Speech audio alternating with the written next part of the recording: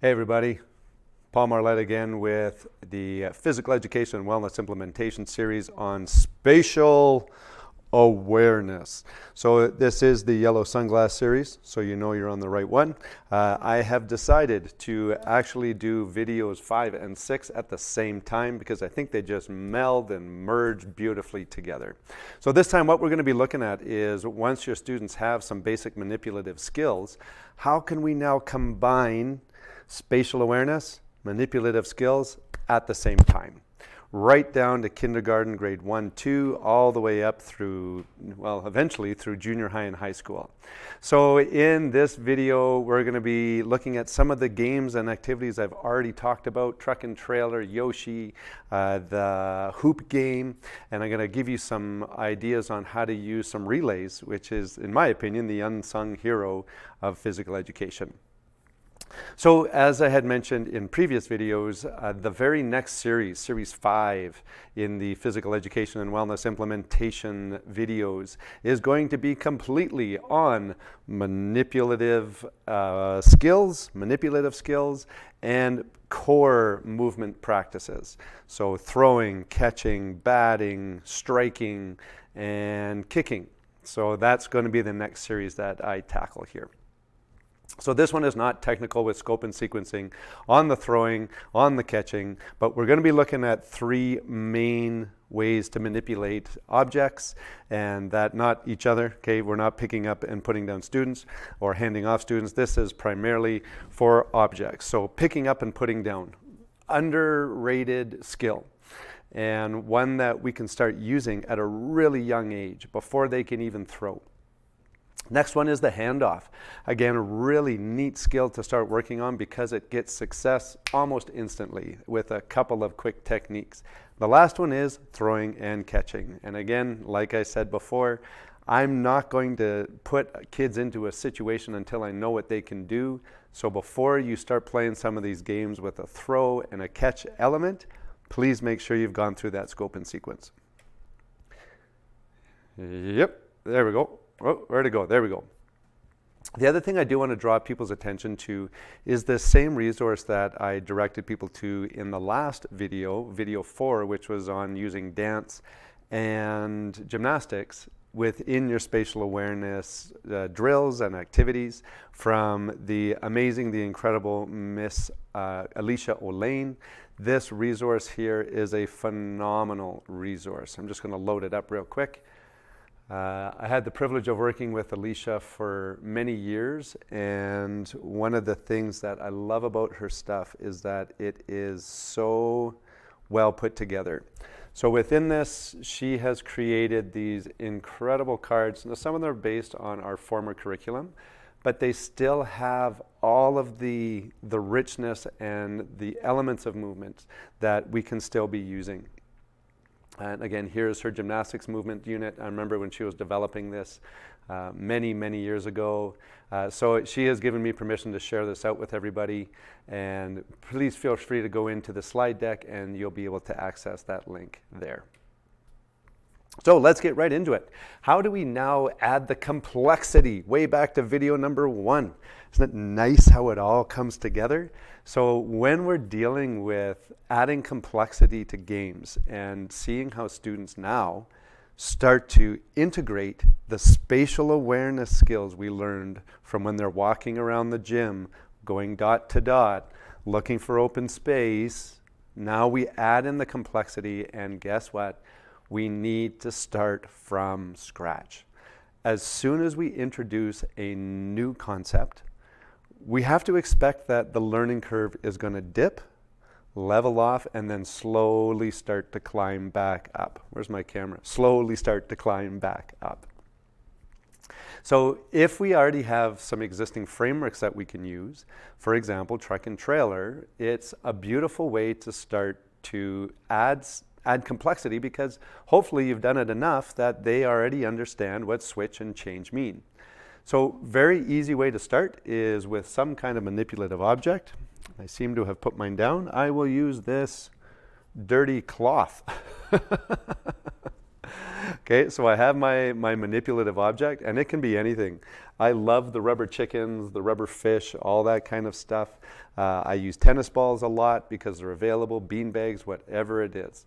This time, or even noodles, uh, like a cut up quarter of a noodle, brilliant little baton.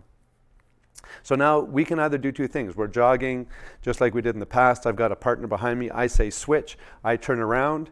Now, who would pass who the object? So what I would do is I would have the leader actually have the object. So when I turn around, I pass it off to the person. They're going to take it and go. Simple handoff, still one of the hardest skills to teach in track and field is to pass something without dropping it. Now, the next level of that is could we actually have kids, um, when we say switch, we now want them to be about five, ten feet apart, maybe four feet apart, okay? Further than two arms distance apart. And now they have to toss the ball to each other, toss the beanbag to each other, catch it. Now we can continue to go. You're going to increase the number of reps by saying switch more often. Um, the other thing now is that, remember early on we talked about spatial awareness. How big is my personal space bubble if I'm following someone an arm's distance apart? Not that far. So now what you can do is you can have them estimate. Well, what is a body length? What is two body lengths away? Anyone who's had kids and had to teach them how to ride a bike, that rule of two bike lengths back, not so easy to teach. So now if we're saying let's have two body lengths, you can even have them both lay down, head to head, stand up. Now they're on their feet. You can see what that distance looked like. So now when they're two body lengths away, that's where we're going to start to pass things back and forth. Simple little thing to add. It's going to take you a while to get kids to be able to do that. What happens if they drop the object? It's up to you to decide. Do a jumping jack, keep going run around the object where it lands twice, then keep going. Uh, or just pick it up and go. Doesn't really matter. The other thing this does, though, it, it also adds this notion of can you adjust when there's new objects around the space? Balls on the floor can be quite dangerous. So, again, something to consider. Remember, pick up, put down. Uh, with my volleyball teams that I was coaching in high school and junior high, we often did things with up and down, where they're squatting down, picking something up, moving it, putting it somewhere else. Why? Because it works your whole body. the body squat. Oh, we are going to do a, a session on fitness as well. I'm looking forward to that one. But the body squat is a full body workout. So if we can get kids to bend down and stand up 50 times in a class, that's actually a really good workout. So this is one called uppy downy or ups and downs. There's again lots of variations on this, but basically what it starts with is one cone per student. I love the little disc cones, the little white ones or the green ones with the hole in the center. They're about this tall, literally look like a disc. Beautiful, beautiful thing to have around because you can buy a hundred of them for a pretty good price. Now, what I would do is I would give each, I would put them into two different sides. Okay, the right siders and the upside downers, or the tops and the bottom, whatever you want to call it. Okay, the asparagus and the cheese. Like, who cares? make it fun, make it interesting. And one group's job, their only job is to turn the cones that are upside down and to flip them upright. And vice versa. The other team, they're trying to take the cones that are upright and flip them uh, upside down. So once you have your designation, each kid has a cone. They can put it anywhere in the gym, which is another interesting thing to see if they remember open space, right? And then you give them a time limit and give them a minute. They're going to be exhausted. Give them three minutes, and you'll start to see even the older kids start to slow down very quickly. The neat thing about when we add these manipulatives is that we're bridging the gap between spatial awareness and tactical understanding. So right now, what would your strategy be? If you got a team, there's so many different ways to do it. Uh, one strategy is they would pick someone from the other team and just follow them around. So instead of going on the offense, they play more of a defensive game. They let the other team turn it and they try and flip them right away. So that's one technique. Students will come up with their own strategies. Uh, a lot of times I have seen Sometimes teams will wait for the majority of them to be flipped one way and try and do them really quickly. Uh, the other strategy you can add here is that once you pick up a cone, you can move it 10 steps away, five steps away, three steps away. whatever it is. And so now what starts to happen is you see the cones start to migrate towards different parts of the room. The key with all of these manipulative skills and the strategy is how you discuss it. Because if we play a game, a one off like this, and we never debrief it, the students don't lock in any knowledge for next time you would play. So my key framework is always three things. I use it everywhere in my life, but it's what worked, what didn't, what would you do differently. After every camping trip I take with my, my, my wife and my kids, we debrief what worked, what didn't, what would we do differently. And I tell you, it doesn't take long before the brain starts to remember those moments when you realize, oh, we forgot this thing, let's never forget that again. So uppy downy, uh, fantastic thing. Uh, again, manipulation for me isn't just throw and catch. It has to do with pick up, put down. If you're in a badminton unit, another great one, super easy to do, is called uh, I think it's called trash yard or junk yard, where you throw out all your shuttles and teams on both sides of the nets, and their job is to just throw the shuttles over the net. And at the end of the time, whoever has the most has to do something or not. It could just be your warm up. Another really easy one. This is called hot potato. I'm going to pull my board up here again. I got a funny little, a bit of a reflection, but I think I can mitigate it. Uh, make this big. There we are. Big. Fantastic. So this is a game called Hot Potato. Not quite the game. Oh, wrong way. Not quite the game that uh, we played where you just toss something to someone and then you toss it to someone else. But what we're going to do is we're uh, going to set up two sides. So we're going to have a line of students on here. Oh, that is a bad reflection. There, that's better. We got a line of students on that side. We got a line of students on this side. And we're going to put a cone in the middle. Okay, so we got this individual over here and we have this line over here. So what's going to happen here is that we have to get the hot potato, whatever the object is, to be handed off before they reach that cone. So it's going to go one and then the other. So this person is going to start running. As soon as they cross center, this person is going to meet them. The person who's handing it off is literally just going to hold it out to the side, right in front of the person who's running. The other person is going to do the classic football one hand up, one hand down. Okay, palm up, palm down. And you're going to collapse, you're going to collect it. And then before they hit the center on this side, the next person is going to start to run. I have a link in this of a video. Once you see it, it's not too confusing. But what it does is that it sets up a practice, three, four kids, and the, they're always cycling. You just do this over and over and over. Really fun thing to do sometimes is to put in different objects, right? So can you actually do it with a plastic uh, glass or something like that with water in it? So now you have to adjust your speed, all of those kind of things. So that's a super simple game called Hot Potato. But what it does is it sets you up to actually have the ability to do handoffs in your class. That board is really awkward. All right, so I'm going to minimize this down again. It's enough of me being big. So again, when we are doing truck and trailer, uh, we've talked about the potential of handing something or passing something. When we get to that advanced level of truck and trailer, where now we're actually have four people, four or five people in a line, you could actually do a handoff of whatever object it is all the way down the line. So remember, those two, those three or four different ways that we play truck and trailer. The most advanced one is when we have four people, you got one person in the lead. If we say change, that person in the lead is going to run to the back. So if they have the object, they could either hand it back to the first person or it could be the last person who carries the object and they have to pass it forward to the last person before they go. Let me just demonstrate that. Okay, we'll go down to my awesome setup. Right there. Okay, so I've got my four individuals. Where are we there? Right Right there. Okay, I got my four individuals. Okay, so Prince Charming is going to be in the lead. Okay, he's my lead runner. My 1980s troll has the object. Okay, has the object that we are going to pass forward. If we say change the lead, what happens is that this person now has to pass that object all the way to the person in the front before they can now run to the back holding the object. Okay? The other thing you could do is that if we're doing the same thing and we want to add a toss to it with this setup, is that if we say change, these two people in the middle duck down, and now we throw the object from the person in the back to the person in the front. We're going to switch sides, and then we keep going.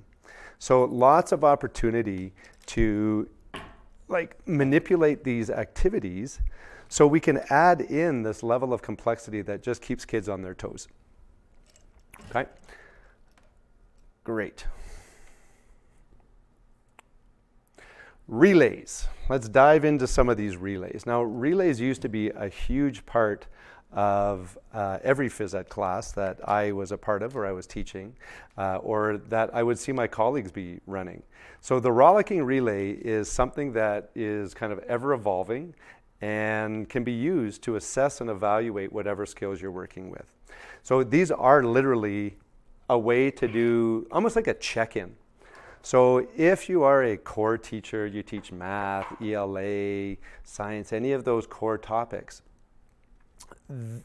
at the end of the day, we have a, a, lot of us use these things called exit slips or entrance slips, where we collect a little bit of information from a kid, and that gives us those check boxes. Yep, they can do the algebraic reasoning. I just saw them do it on their own. I'm good to go. It's like that check in, right? Something that we can use to establish have we made progress. These can do it all. And it doesn't always have to be just in lines. So there's lots of ways to be creative when we're looking at a relay because it will honestly give students the opportunity to do something that's novel. So we can implement all of our movement qualities, the manipulation pieces, and locomotion all at the same time. So Beanbag Partner Challenge, uh, this is an interesting way to do kind of a relay, but it's one that's more set up in more of a circle. So in a gym, we have these opportunities to put different things in different locations. So let's just say I'm going to put uh, four, we'll make this a nice small class.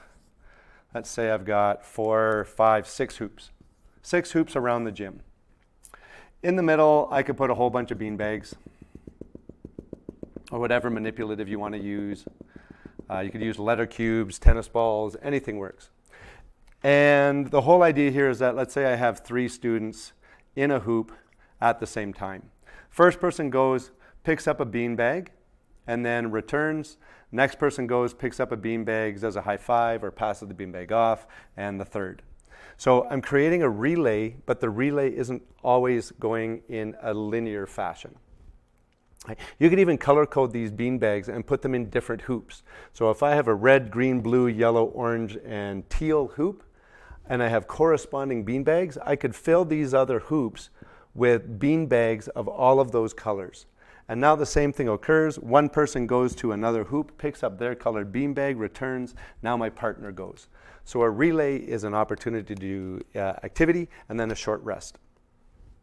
Right? And as you go through this, it, let's say now I have to go and get a beanbag, put it in someone else's hoop, then pick up a beanbag from another hoop and return. So right off the bat, there's three iterations that we can do within a couple of minutes and get kids active, but also starting to think, well, why would I go here if I can deposit this one? So they start to think, what is the closest, what is the furthest away? And these are a couple of different setups. Okay, this is the traditional one, and I like this. I still use it. I use this for what we call progressive relays. So uh, I'll just have the first person jog to the end and just wait for their partner. Okay, so relay or they jog and come back. Something really simple. The next one, they're going to do a jumping jack, then they're going to skip, or then they're going to jog down, jog back. Next thing we're going to do, we're going to add on to it. So now I want them to do a 360 jump. They're going to do their jumping jack, and then they're going to jog there and back, take their partner, and go. And we can keep adding things onto that. If we have a ball on the other side, we can have them now do a 360, do a jumping jack, jog to the other side, toss it up and down three times, then jog back, take your partner. This will allow you to kind of increase the complexity as you see, uh, and they get really fun. You can even have kids lay down, roll to the right, roll to the left, and now they actually have to coordinate with each other. And anytime you're carrying things, it also increases it. Uh, this one here was a version of the one I just showed where students are moving into the center. I also like it when we have students into the center moving out. If you are a soccer player and you love teaching soccer, this is a great way to kind of watch students in relay format how their skills progress because you can put a series of cones out. So they start in the center, they dribble out, and then they dribble back. Why do I like this? Because now the kids aren't comparing themselves to all the other groups so much because it's not a race. So, so another big thing with relays is that relays don't have to be about the race. Relays can just be how many reps can your group do in a set amount of time. So like everything else in my series, the smaller the groups, the more activity, the more learning is going to be happening. So in relays, I like three. Okay, partners are also fantastic if you have enough uh, equipment. And number two, we're talking about reps versus speed. There's a lot of subtleties within our phys ed classes where if we just do like three people in each line and we say go as fast as you can, what happens is that one team is always going to finish first, and those kids know, and that last kid, no matter how loud we cheer for him, is probably always going to be the last kid. So, can you mix up the order? So the first time we run it, have the number first person go, then the second would lead, then the third person would lead. Uh, I really like doing reps versus speed. So in a minute, how many times can your team get through? Uh, we don't even have to collect how many times. It's those little challenges. Can we build to multiple steps, walk to the end, toss and catch a ball, return, like I was talking with the other uh, uh relays. And the other thing is that when we're dealing with spatial awareness, uh, sometimes they don't have to be linear. So in this case, we have a central area where all the equipment is. We also have to inform kids that if they're bending down to pick something up and there's other kids running in, we don't want to just bend down with our head. We actually want to bend down like a, like a lunge almost, so we always have awareness of what's around us. That's something in the grade, like kindergarten to grade three, even grade four, I would actually pre teach. So if you're going in, like in dodgeball, how many times do you have kids hit heads on the center line? Right? That's because when they go down, they look at the ball instead of being aware of their surroundings. So those little things when we add pick up, put down, you'll see kids do stuff. They're like, "Oh, that doesn't look safe," and just practice that mobility. Uh, lunges are a great way to do that. It gives you that uh, access as well. In the last video, what, one of the things that I was uh, reviewing is just this notion of uh, the summary documents. The summary documents of the KUSPs. These will help you combine these two skills. So if we look at um, like the B's here, when we're looking, where are we here? B's. Uh, distraction movements. Let me just find a good one here. Uh, exit similar ways. There it is. Collaboration, working together. That's the C's. Send, receive while changing directions. So in this one here, this is a grade six. So one of the things that we need to do is to send objects and received objects while we're changing directions. It's a great thing to do in a relay. Okay, how can you set up that relay to allow them to go around a cone and catch, uh, I don't know, a foam ball, a football, a rugby ball, whatever the object is that you're using? Right, so when we're planning for these crossover kind of skills, those kind of documents really make a big difference. Finding space. So we're heading into this notion of uh, tactics. So the key to tactics for me is talking about it. I often will give students like a minute or two, not very long, because I want them active more than I want them uh, chatting with each other. So, like, you've got a minute to come up with a strategy that you're going to try. If that, if that you don't have enough time, I'll give you a little bit more. But with even that beanbag toss, or where they're moving around and tossing the beanbags back to their own hoop, what hoop are they going to go to first and why is that? What happens if everyone joins them? Those little conversations after they've tried their tactic remember what worked what didn't what would you do different? Students know way more about this stuff than i ever gave them credit for. And the more i was able to give them the time to do that the more they kind of jumped into it okay so yoshi let's talk about yoshi because I've, I've kind of set that up This is a game that has lots of tactics, but one of the things when we add some manipulatives is it changes their tactics.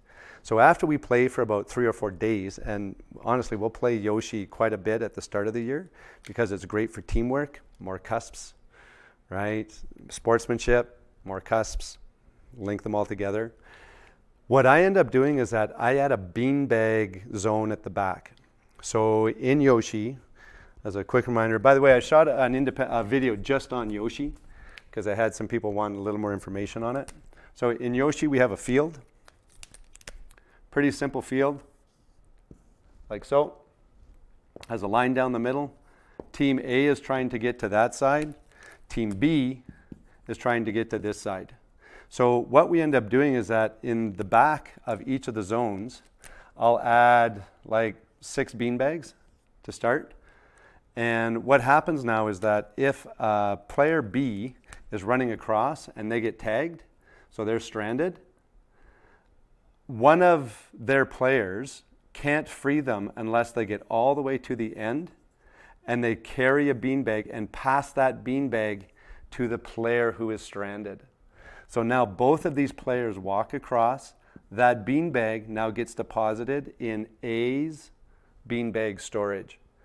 So it really does shift up the game.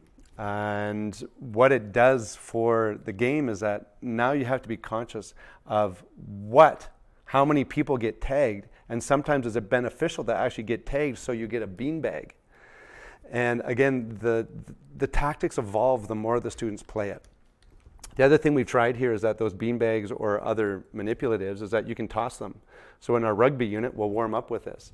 If you toss a ball, then they can carry it across and they're safe, and the player can stay behind the line. So lots of different things we can do with that. And when you continually give students this, they start coming up with their own strategies and own modifications of the games, which also shows up within our new KUSPs. For this next little bit, I'm going to talk about some different ways to actually consciously teach tactics of offense and defense. So I'm just going to switch over to another little modified tabletop here. There we are. Tighten that up. So this is a, a, really interesting way to help kids start to figure out uh, the little more advanced levels of what open space is. So these are called, um, what are these called? These are called squares. I don't know why I lost that number, that word. So the squares are a way that will let us really pinpoint this whole notion of moving to open space.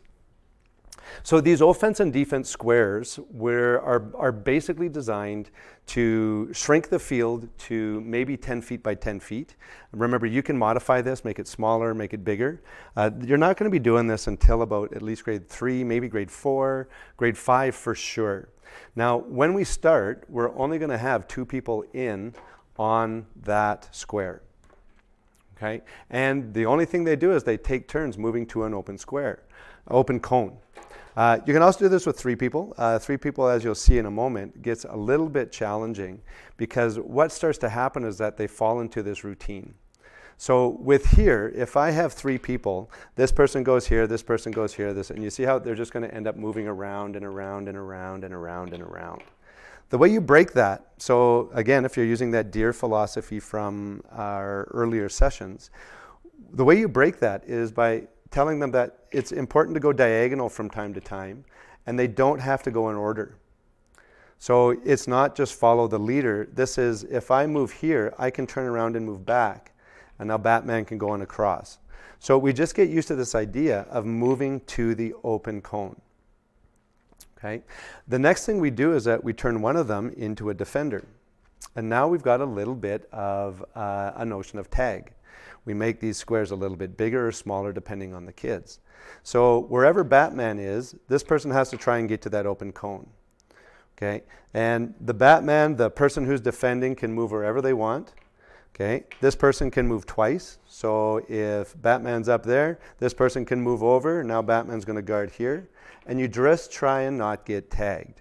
If you get tagged, you can high five, do what you want, and then you switch who is the defender in the middle. This starts to develop this really interesting idea that when you're on offense and defense, you have to use your peripheral vision. Because if I see someone moving, well, I'm going to cut them off and try and tag them. The other big thing here is that only one person can move at a time. And I've recommended we start with that deer method. Now, this is like, that's level one, two, and three on that. Because this even gets to be a little more interesting when we add in the discussions on how does it feel to be the person in the middle? What is the best place to stand? What is the, where is the best place to stand? Do you just end up, do the people who are trying to get away just end up running in circles, following each other? Or is there a time when they could actually set up a diagonal run? Did that ever, did that ever show up?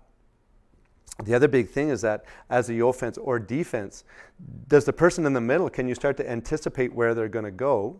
And again, there's the last question Does anyone actually cross the square? So this is this is just like spatial awareness. So we're not don't have any manipulatives yet.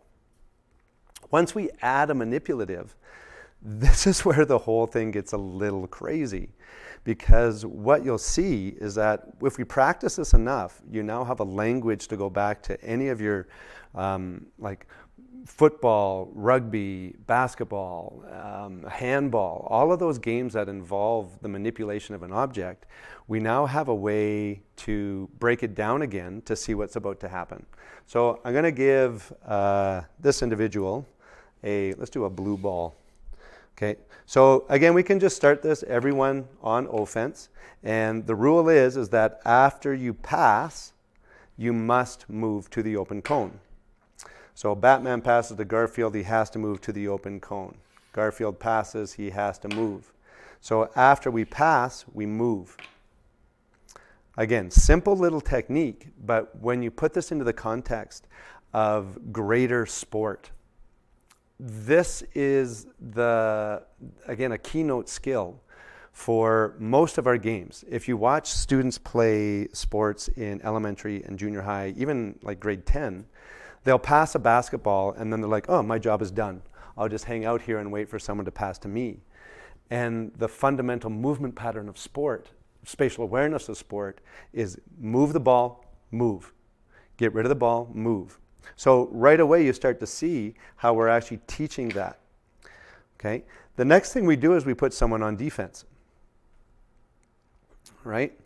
And as soon as we do this, what starts to happen is that now you still have to pass the ball and move, but now your options are limited because the person who is playing offense or defense knows that this person is going to have to move at some point. Right? So the thing we set up next is that after you pass the ball, they have to move. But at the same time, if this person can't make the pass, the other individual can also move between the move between the cones.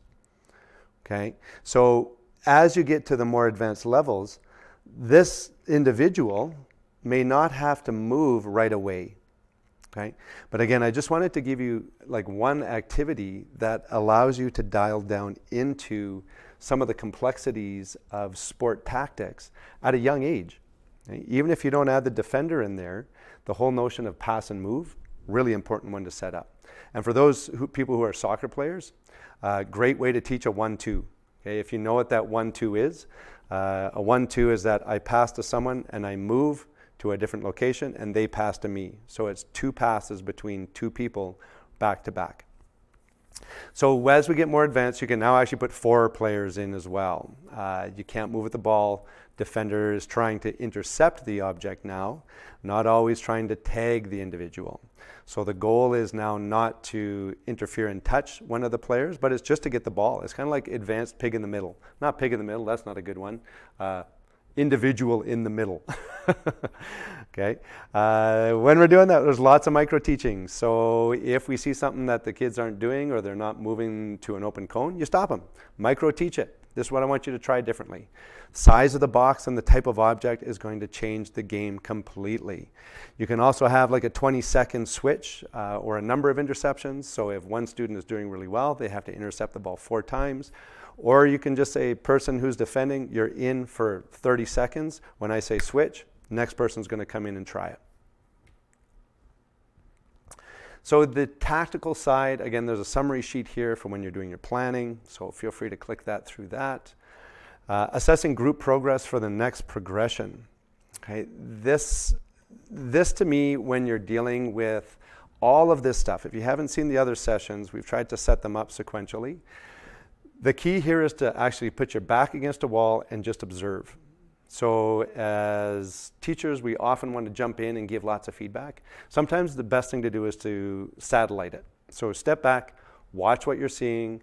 If you're seeing kids walk between cones, give them a challenge. You got two seconds, one second to get between those cones, right? I want that pass to be below the head so you can't throw it over the defender when you see those keys about how they're moving and how they're throwing and the choices they're making, with tactics, that's the key to allow them to move forward. Right? Remember, one or two things, that's all you need to change. I talked about this in the last video, but I am going to go through it quickly one more time. How do you track student progress? So the piece that I put together for people is based on my own teaching uh, it looks like this. This is all of the KUSPs for grade three. So these are the S&Ps, the skills and procedures. If you pair that with a tool that looks like this, now I'm able to evaluate certain KUSPs every week or every day, every month. Maybe I'm going to pick four I'm going to do each month and review it. Something efficient so at the end of the year you can look back I have in elementary, I only have two indicators on our report card currently where I teach. So I have to, I have to summarize. What is this? Almost 20, yeah, almost 22 different outcomes into two report card stems. So I love this system because it allows me to get a quick snapshot of the students without taking too much time that's that. Uh, yeah, so and I, the next series is our fifth series in the se uh, sequence, and it is all on manipulatives, uh, kick, throw, bat, catch, and it's going to be very much based around practical assessment, practical evaluation, and techniques to help students progress through those stages. Okay, thank you so much. That is the end of the spatial awareness mini series. If you need support, please send me a message. And other than that, we will see you on the next series, probably with a different color of sunglasses. Thank you so much, everybody. And I hope you got something out of this series and you have something to implement as you move forward into your daily classes.